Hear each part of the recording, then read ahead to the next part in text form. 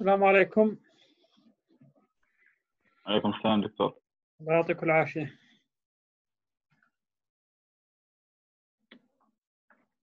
ماشي إحنا يعني خلينا نبدأ. آه، واللي بيجي بلحق المحاضرة لأنها بلشت. اللي بيجي بلحق حاله أهلا وسهلا. طيب إحنا المحاضرة الماضية آه، بلشنا بالبسل equation. بسل equation اللي هي ال Bessel differential equation basically وقلنا إن اللي هي عبارة ال Bessel differential equation هي عبارة عن second order linear non-constant coefficient uh, differential equation طبعا أهميتها حكينا إنها تستخدم ل uh, وصف ال physical systems مثل uh, مثال علينا تطبيق مثال عليها تطبيق مهم عندنا اللي هو الديفيوجن بالبورس كاتاليست ديفيوجن بالبورس كاتاليست فالديفيوجن بالبورس كاتاليست راح نحل عليه إحنا مثال نشوف كيف إنه إحنا بنستخدم ال Bessel function order to describe أو solve the problem.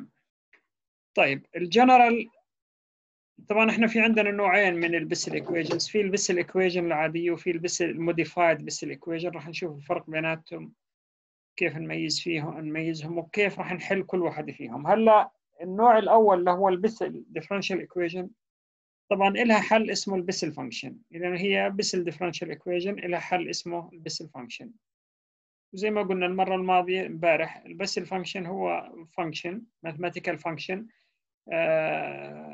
له خصائص زي مثلا ال sinusoidal function زي ال tan function زي ال logarithmic function هو function تمام؟ بس طبعا لأنه اقتران خاص آه وقلنا اسمه من اللي هو الفيزيائي اللي أو ال mathematician اللي حل المعادلة هاي.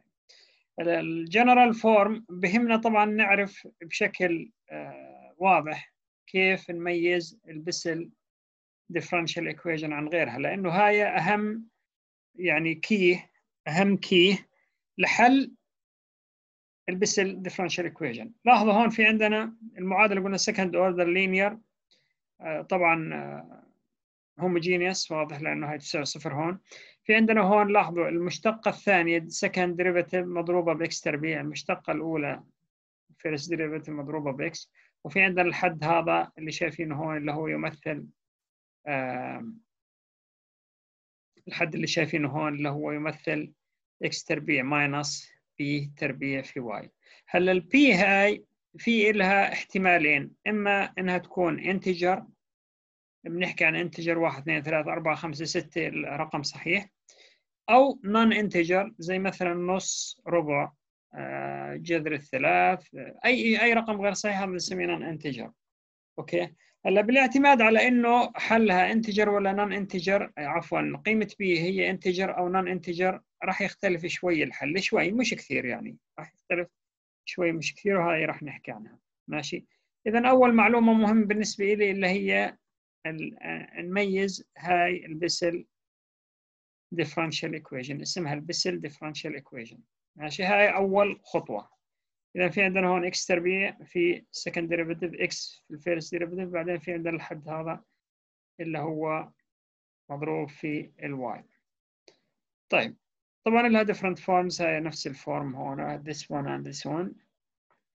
قلنا أهميتها إنه used for modeling systems with cylindrical coordinates مثل طبعا اللي هي transfer a pipe ال pipe بتعرفوا cylindrical coordinates اللي هو بكون دلالة r وثيتا وفي له لها تطبيقات ثانية مهمة عندنا قلنا بال diffusion porous catalyst. وفي لها طبعا يعني ال Bessel differential equation لها تطبيقات كثيرة لها تطبيقات كثيرة وراح نشوف جزء من التطبيقات.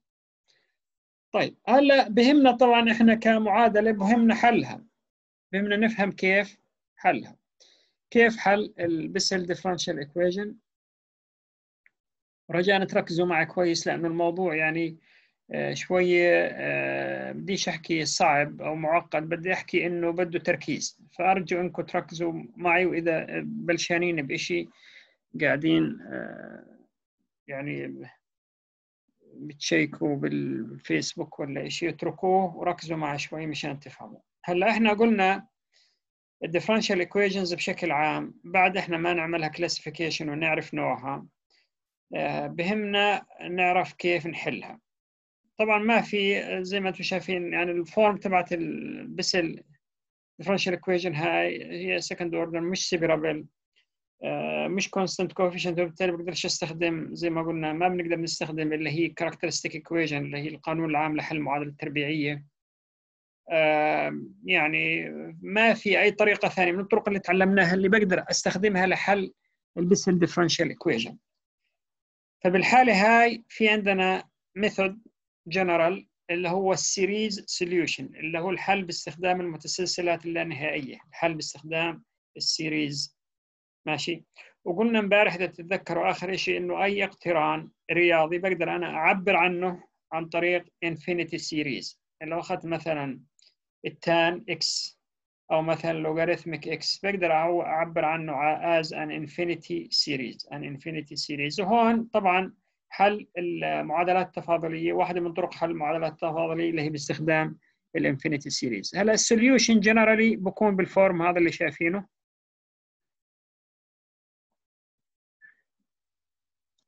sorry بكون بال form هذا اللي شايفينه. آه اللي هو عبارة عن infinity series ماشي. من n يساوي صفر ل n يساوي infinity وفي عندنا هون coefficient اللي هو ال a n لاحظوا a n هذا بده زي عداد ماشي؟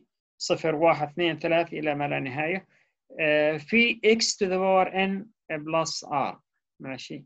وال r راح نحكي عنها اللي هي later. الان مفهوم بس الآر راح نحكي عنها later. تمام؟ هلأ ال a to the power n بنعبر عنها بالمقدار هذا. طبعا في اثنين هون هاي اشتبوها بالخطأ؟ واردة. تعريف ال A to the power n هو طبعا coefficient زي ما قلنا زي عداد تمام؟ آه لاحظوا هون له تعريف رياضي ماشي؟ طبعا أنا ما بهمني تعرفوا شو التعريف الرياضي له أنا بهمني تعرفوا إنه هاي ال form ونشوف كيف بدنا نحولها ل form مبسط تمام؟ ف based on this definition هذا اللي عندنا هون راح يكون عندنا ال solution عبارة عن infinity series بال form هذا. طبعا شكلها معقده complicated آه مو مشكلة. راح نشوف هلا كيف راح نتعامل معها. لاحظوا هاي الديفينيشن هذا اللي بالمربع الأخضر اللي شايفينه بنسميه Bessel function of the first kind. Bessel function of the first kind. له اسم مختصر له JP JP of X. إذا لاحظوا هذا زي sin n of x. يعني sin n of x في عندنا قيم مختلفة ل n وقيم مختلفة ل x. ماشي؟ sin ال 1 of x sin ال 2 of x sin ال 3x sin ال 4x and so on. وهون ال Bessel function له تعريف مشابه لها اذا هذا بنسميه ال Bessel function of the first kind. طبعا ما دام في first kind معناته في second kind. أكيد. عشان هذا اللي راح نحكي عنه later طيب. إذا هذا ال Bessel function هذا تعريفه نفس هاي هون بس طبعا إحنا حولنا بدل ال k حطينا p هون. ماشي؟ هذا صار ال solution إذا لاحظوا هلأ أنا لما بقول J p of x هو اسمه Bessel function of the first كان تعريفه الرياضي اللي هو الحد هذا اللي شايفينه الطويل. تمام؟ وهاي ال x ماشي؟ وهون في عندنا طبعا اللي هو ال terms اللي راح نستخدمها in order to express the infinity series. ماشي. اذا هذا تعريف ال J p of x بهمني أعرف إيش التعريف ال J p of x لا ما بهمنيش. بهمني أعرف إنه حل المعادلة التفاضلية هو يعني ال Bessel differential equation هو اسمه Bessel function طبعا هي هون of the first kind ماشي؟ طبعا ال Bessel function له tables وله form لاحظوا شكل ال Bessel function هذا J zero طبعا إحنا بنحكي هون J p J 0 لقيم مختلفة من x لاحظوا عبارة عن إيش؟ مشابه بشكل كبير لل cosine function ولكن بصير له decay يعني لاحظوا هون هاي قيمته هون تقريبا على الواحد ببلش إيش؟ برضه زي ال sine عامل reciprocating بس إيش بصير له؟ decay فقيمته بتقل عند ال infinity بتوصل للصفر هلا مثلا J 1 لاحظوا زي ال sine أقرب لل sine ماشي؟ لأنه sine الصفر صفر فبالتالي هاي ال J برضه زي ال sinusoidal function ولكن بصير له decay term decay يعني بتناقص بوصل لل infinity تمام؟ هذا بالنسبة لل Bessel function طبعا لو بدي أروح على ال Excel مثلا أطلع قيمة ال Bessel function بكتب Bessel J ماشي. ال x اللي هي قيمة ال x هنا ماخذها هون من صفر ل 10 وال n اللي هي قيمته مثلا J naught naught اللي هي صفر. الواحد الخمسة ونص ممكن يكون قيمته يعني integer قلنا أو non integer فهذا بنسميه J n of x فلو بدي قيمته بروح بدل ما أستخدم ال tables على ال Bessel function ال Bessel آه، على ال Excel بستخدم بكتب آه، يساوي Bessel J أو مثلا خمسة وواحد. بعطيني ال Bessel function the uh, first order واحد uh, لما قيمة x تساوي خمسة. ماشي؟ طيب. إذا قلنا ال Bessel function هو decaying cosine or sine function. تمام. هلا آه طبعا إحنا لما بكون في عندنا ال p قيمتها integer بكون التعريف هذا اللي فوق عندنا اللي شايفينه. ماشي. This is for integer. P integer. لما بكون p non integer هلا اختلف الموضوع. Non integer يعني إحنا بنحكي مثلا زي الكسور نص واحد بالعشرة. خمسة ونص آه، جذر اثنين. كلياتها هاي بنسميها إحنا الأعداد الحقيقية الأعداد النسبية تمام؟ يعني الأعداد النسبية عفوا الحقيقية اللي هي بدها تكون تشمل الإنتجر والنون انتجر فالأعداد اللي فيها كسور خلينا نحكي ببساطة بنستعيض عن ال function اللي عندنا هون this function. هذا. نستعيد ال function اسمه ال gamma function هذا اسمه إيش؟ ال gamma function إيش هو ال gamma function يعني هو عبارة عن function كمان زي ال Bessel function فبصير عندنا definition ببساطة. بالنسبة لل non integer لل non integer بصير عندنا ال definition مختلف شوي. تمام؟ طبعا ال gamma function له تعريفات مختلفة بهمكوش كثير. بالنهاية بيطلع عندنا الحل كالتالي ماشي؟ if p is an integer. ماشي. sorry خليني بس أنا أنظف هذا اللي عندنا هون.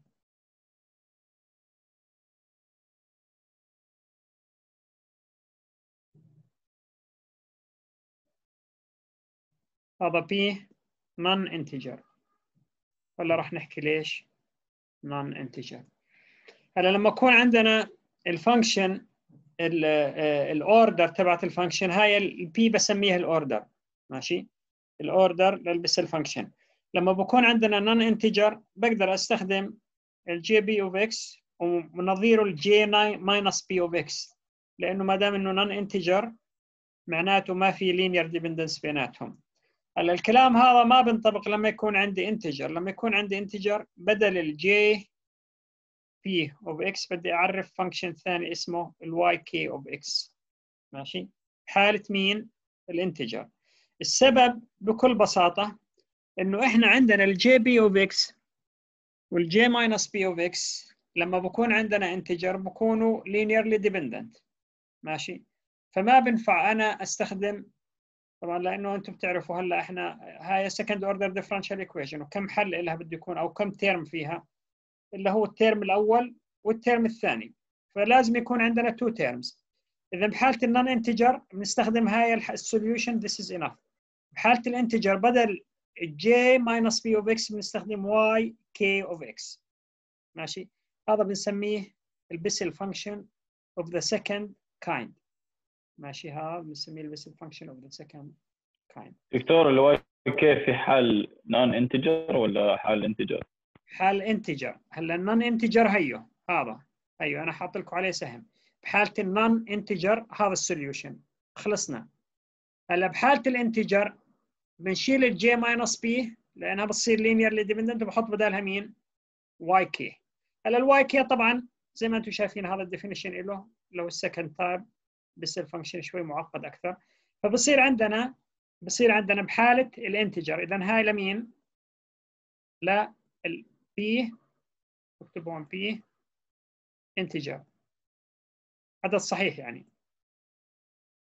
ماشي؟ بتصير a1 jk of x plus a2 yk of x. إذا لاحظوا صار هون jy اقترانين مختلفات. هون كان إيش؟ Jp j minus p. مرة ثانية إمتى بنستخدم هذا؟ نستخدم هذا لما يكون عندنا non integer يعني لو كانت ال P مثلا نص. ثلاث بالعشرة. خمسة ونص. okay؟ إذا كانت ال P قيمتها integer واحد اثنين صفر واحد اثنين ثلاث إلى آخره بستخدم هاي ال form. وضحت يا جماعة راح نحل عليها إحنا مثال أمثلة يعني مشان نوضحها أكثر. ماشي؟ شيماء اطفي لنا هال لو سمحت اطفي لنا هالميكروفون. أيوه thank you دكتور المعادله لازم نكون حافظينها اي شيء؟ شو بدك تحفظ فيها؟ أي معادلة فيهن؟ ايها 2 55 ولا هاي؟ آه، يعني أي وحدة. قصدي إذا في ما ما أقول نحفظ هنا ولا شو رأيك أنت؟ بدي أسألك أنت شو رأيك؟ هو المفروض لا يعني. آه، لأنها يعني. صعبة. ها يعني صعبه أنا بدي أطلب منك تحفظ لي هاي المعادلة مثلا؟ بسأل. أول شيء الامتحان open book ليش بدك تحفظ؟ رقم واحد. رقم اثنين أنا قاعد بحكي لكم. هلا هذا ما بهمنا. تعريف ال Y K وتعريف ال J وتعريف آه، كمان هاي. هذا ما بهمني كثير أنا. أنا بهمني أعرف إنه هذا حله. يعني هم ليش اشتغلوه وبسطوا لنا إياه عملوا الحل بالطريقة هاي؟ مشان ما ندخلش بالتفاصيل. فصار عندي الآن معرف تماما. لما بقول ال J K of x أو ال Y K of x معروف إيش هو؟ هو هذا ال function اللي شايفينه هون. فلا إجابة على سؤالك ما ما بدكش تحفظ شيء المهم تفهم. ماشي؟ يعني المهم تحدد بناء على المعادلة اللي عندك إنه هل الانت عندك non integer ولا integer ال P وبناء عليها تطلع ال solution هلا لاحظوا مثلا لو كان عندنا P يساوي 2 بتصير j 2 of x y 2 of x. ماشي؟ ال x لأنه هذا variable بضل وطبعا ال A 1 وال A 2 هذول ال constants نعم مين كان بده يسأل؟ تفضلي. آه، كنت بدي أسأل كم قيمة ال J minus في اللي في حل ال non ما ال J minus P زي ال J P بس هي في minus يعني ال J P هي نفسها ال J minus P هلأ لأنه ال P قيمتها non integer ال J P بيختلف عن ال J minus P. عشان هيك حطيناهم اثنين بال- بال solution هون. عرفتي؟ آه تمام. بس هي يعني شوفي هون اللي هي بس نفس ال function بس إنه في إشارة minus. هلا شكل ال- ال gamma function هذا ال gamma function بس مشان ما نخربطكوش في functions كثيرة. هذا اللي شايفينه زي ال المقلوبة هذا اسمه ال gamma function. يعني إذا مر معكم بالمستقبل شوفوا شكل ال gamma function كيف كيف بصير. بيشبه كثير ال tan function بيشبه كثير ال tan function. في هون طبعا asymptote singularity points يعني non continuity ماشي؟ يعني هذا non continuous function طيب هلا إذا فهمنا هاي بالنسبة ل ال Bessel equation هلا في معادلة ثانية مشابهة لها ولكن شوي مختلفة فبالتالي حلها مختلف اسمها ال modified Bessel function. هاي شايفينها؟ إذا كانت المعادلة بال form هاي. في عندنا minus هون انتبهوا شو اللي اختلف؟ وهاي صارت x تربيع زائد P تربيع. بينما شو كانت عندنا بال Bessel function كانت هاي plus x تربيع ناقص P تربيع. بقية ال terms هذول هاي ال term وهاي ال term ظلوا the same فإذا كانت هاي عندنا minus هون ماشي x تربيع plus P square P تربيع. تمام؟ الآن آه، صار اسمها إيش؟ modified Bessel function هلا ال modified Bessel function حله بيختلف عن ال Bessel function. تمام؟ إيش حل ال modified Bessel function؟ في عندنا هون نفس الطريقة راح نعرف function جديد اسمه ال I P ماشي؟ بس ال I P أيوه. آه، طبعا ال I P ال A هاي قلنا اللي هي ال integration constant وال I minus P oops. غيرنا شو ماشي يا حضرات. اذا هاي ال I P أيوه اللي شايفينه وال I minus P of x هلا هذا بيختلف. إحنا كان عندنا J P ماشي؟ تمام. الآن صار I P هذا function مختلف. still Bessel function ولكن اسمه ال I P تمام؟ هلا هذا ال solution مرة ثانية لأنه في minus لمين؟ لل integer ولا لل non-integer لل non-integer ماشي؟ اذا هذا لل non-integer نفس الطريقة اللي حكيناها سابقا مشان ال linear dependence ماشي؟ لا حدا يسألني شو ال non-integer وال integer ال integer دائما العدد الصحيح ال non-integer أي شيء غير العدد الصحيح هذا بنسميه non-integer okay؟ إذا كان عندنا non-integer اذا بنشوف قيمة P اثنين معناته هذا الحل ما بزبط. واحد ونص بزبط. خمس بزبط. عرفتوا علي كيف؟ يعني لو قلنا مثلا ال P أربعة على اثنين. ماشي؟ يعني خلينا هيك نحكيها. الأربعة على اثنين ما هي بتصير اثنين هاي بتصفي integer إذا هذا ما بزبط. إذا هذا لل non-integer فقط solution ماشي؟ بنفس الطريقة بنعرف function جديد. هاي طبعا بالنسبة لل Bessel function of the second kind اللي حكينا عنه اللي هو ال Y وهاي ال I نوت وال I 1 بس تطلعوا عليها يعني ما في شيء تعملوه. هلا بحالة إنه ال P كان integer okay؟ بصير عندنا لاحظوا هون هاي قلنا non-integer هون تمام؟ هاي non-integer هاي الحالة رقم ثلاث هلا بحالة إنه تكون ال P integer بحالة ال modified Bessel function بنعرف اقتران جديد اسمه ال K K تمام؟ مش قلنا هسه ال I P بتاع ال modified دكتور؟ هلا ال modified لما بكون non-integer هذا هو تمام؟ ال I P وال I minus P هو basically نفس ال function بس قلنا واحدة فيها سالب يعني عكس بعضهم بالإشارة. هاي ل... هاي لل non-integer واللي هسه حكيتها أنت لل integer يعني. هاي ال non-integer modified Bessel equation هاي. تمام؟ آه واللي تحت اللي هي integer modified صح؟ هاي integer modified Bessel equation ماشي؟ فالآن صار عندنا أربع حالات. Bessel equation non-integer Bessel equation integer modified Bessel equation non-integer modified Bessel equation integer تمام؟ هذول اللي بدكم بس تعرفوهن هلا أنا لما بكتب مثلا ال solution بال form هاي نفترض إنه ال K عندنا هون نفترض مثلا اثنين ونص. تمام؟ بيطلع عندنا ال Y of x um sorry اثنين بده يكون لأنه هون integer إحنا بنحكي هاي integer أنا اسف ال K بده يكون integer. نفترض ال K عندنا اثنين. فبصير عند ال solution a1 i2 of x plus a2 k2 of x. As simple as this. ماشي؟ هي definition لل K هذا برضه بسميه modified Bessel function of the second kind. انتبهوا. الأول ال Y K كان اسمه ال Bessel function of the second kind. وال J كان اللي هو ال Bessel function of the first kind. الآن هون هذا بنسميه ال modified Bessel function of the first kind ال I وال K بنسميه ال modified Bessel function of the second kind. ماشي؟ فنميز بيناتهم ما نخلط رجاء في عندنا ال first kind وال second kind اللي هم الجي الواي الاي والكي ماشي. هلا ال modified Bessel function of the second kind اللي هو ال K هي شكله زي هيك. اشكالهم غريب شوية تمام يا جماعة؟ اذا أربع حالات صار عندنا. كل حالة لها solution مختلف هلا راح اورجيكم أمثلة وتشوفوا كيف نتعامل معهم. خلينا نروح على الامثله وبعدين نفتح مجال للأسئلة إذا في شيء مش واضح. نيجي على المعادلة. هاي عندنا المعادلة. طبعا ما لما بعطيك المعادلة يا جماعة ما بقول لك إنه هاي Bessel equation أو modified Bessel equation أو whatever ماشي بدكم تروحوا تقارنوا بال form اللي عندكم لاحظوا هاي المعادلة؟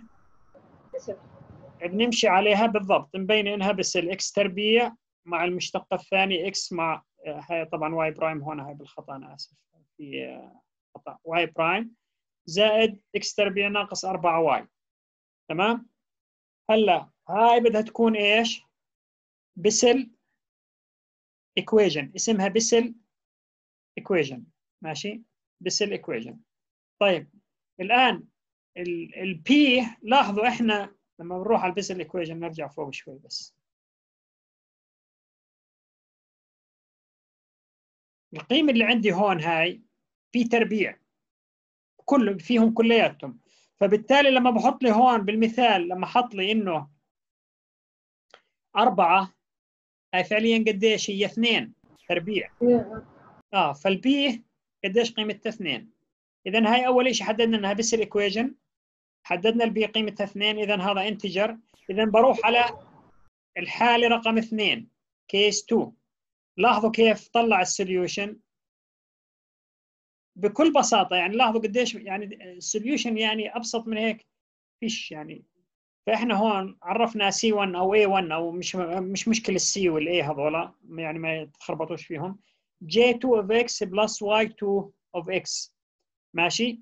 ليش استخدم هون y2 ال2 طبعا لل P ليش استخدم y ما استخدم minus J ال minus 2 لأنه في عندنا طبعا integer بالضبط. بينما المعادلة هاي مثلا okay. لاحظوا المعادلة هاي؟ نفس الشيء X تربيع مضروبة في في ال second derivative ال X مضروبة بال first derivative وفي عندنا الحد هذا اللي هو آه بس ال P non-integer هون. أيوه ال P هون ثلث. yes جذر التسع اللي هي ثلث. و still هاي طبعا Bessel equation. فلاحظوا كيف ال solution صار هلا. J الثلث J ال minus ثلث. يعني أعتقد هيك واضحة صارت. ماشي. هلا لما بتقولوا لي this is the final solution yes this is the final solution. الفرق الوحيد هون أو الشيء الوحيد اللي ممكن نعمله إذا عندنا ال boundary condition نطلع قيمة C 1 و C 2 ولا هاي هيك تعطينا ال solution جاهز. فلاحظوا قديش هذا ال series solution سهل علينا الحل سهله بطريقة كثير كويسة. تمام؟ طيب في عندكم أي سؤال أو استفسار لحد الآن؟ طيب خلينا نمشي. هلا في عندنا طبعا certain cases ما بتكون محطوطة بال standard form هاي. نأخذ مثال هون مثلا. لاحظوا هاي في عندنا يعني هاي بقدر أنا أقول إنها this is a Bessel function. آه بس إنه في عندنا اللامدا تربيع هاي. ماشي؟ فبالعاده بكون في عندنا transformation بنفس الطريقة اللي كنا نعمل فيها transformation لاحظوا فكرة ال transformation إنه بدل آه هاي ال lambda X كلها أعوض عنها variable جديد اسمه ال Z ماشي؟ تتحول عندي لل standard form. ماشي؟ اللي هي Z تربيع minus P تربيع هلأ هي صارت عندنا بال standard form. فال solution ليها طبعا لأنه ال P هون عندنا هو حاكي لنا إنها يعني مش محدد. فبالعادة لما بكونش محدد بعتبر إنها ممكن توضح كيف رجعنا لل form هذا؟ اللي هو اللي هلا بدك أنت أول شيء هذا بتكون should be given to you. ماشي؟ This should be given يعني transformation اللي بتحتاجه should be given to you. يعني زي ما قلنا إحنا بحل المعادلات النون لينير لما بكون في عندنا non linear equation بدها transformation تحويل. التحويل هذا should be given to you. ماشي؟ هلا نستخدم chain rule هون. ماشي؟ Dy by dx تساوي dy by dz في dz by dx. ماشي ماشي. هلا آه عندنا dz by dx من هون. dz by dx تساوي إيش؟ تساوي اللامدا. مش هيك؟ dz by dx تساوي اللامدا. في dx by dx اللي هي بتصير واحد. يعني dz by dx يساوي لامدا. عرفت علي؟ فالآن ال dy by dx بدنا نحط مكانها lambda dy by dz إحنا كنا بنعمل يعني transformation لل variable هاي المشتقة الأولى اللي هي هاي. This one. بنرجع بنعمل بنشتقها نفسها هاي. هاي اللي طلعت معنا. نشتقها كمان مرة. تطلع عندنا بنفس الطريقة. ال form هاي. لاحظ لامدا تربيع d square y by dz square فصارت المعادلة الآن كاملة بدلالة مين؟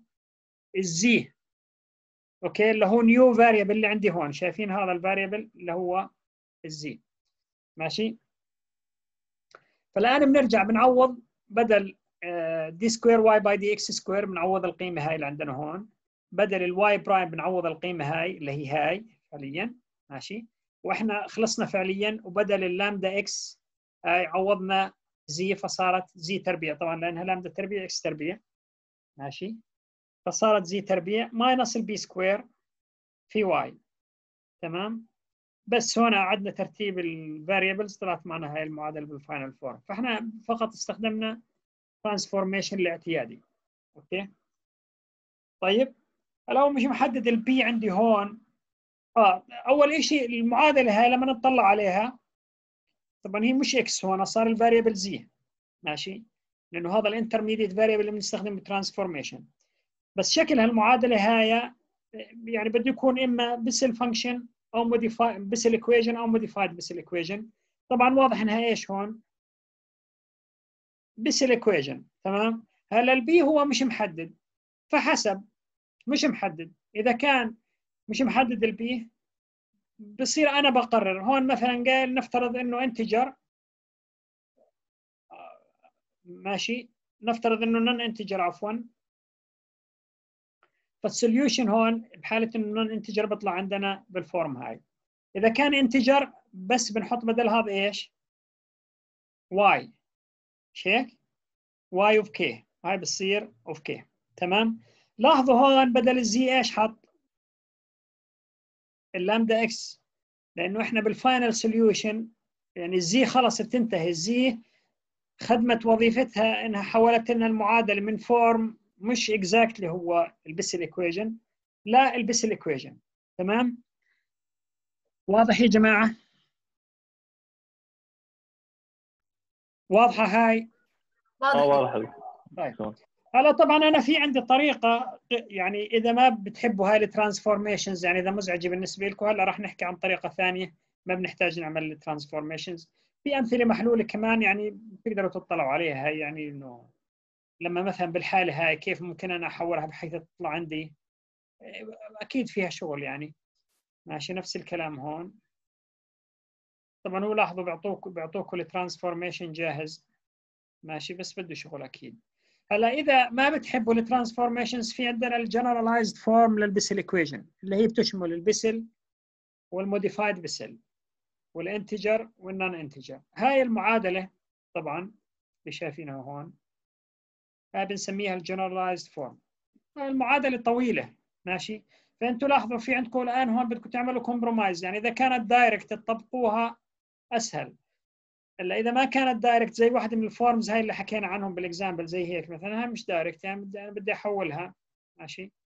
لفورم يشابه البسل فانكشن أو البسل ايكويجن أو الموديفايد بسل ايكويجن الخيار الثاني إذا ما بدكم تعملوا ترانسفورميشن بدكم تطلعوا القيم هاي السي والدي والبي والاي ماشي. اللي هم A B C S and R. By comparison. زي لما كنا نحل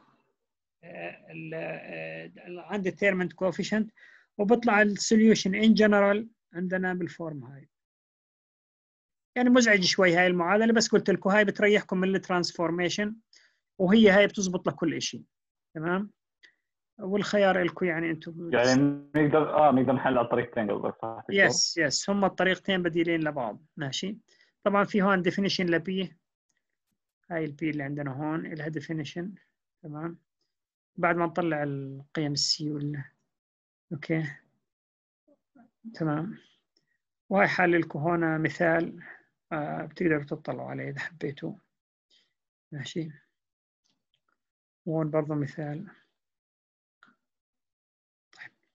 ماشي يا جماعة. اذا هاي بالنسبة للبسل ايكويجن هلأ في عندنا بروبرتيز مهمه للبسل ايكويجن أو البسل فانكشنز عفوا مش البسل ايكويجنز هسه خلص إحنا خلصنا البسل ايكويجن ننتقل للبسل فانكشن طلعت معنا بسوليوشن لها بروبرتيز مهمة.